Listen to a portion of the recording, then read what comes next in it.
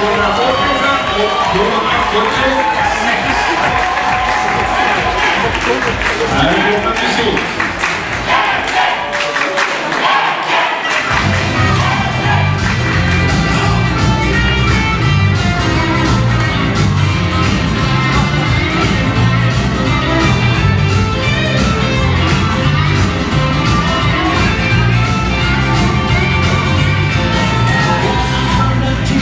Wish it to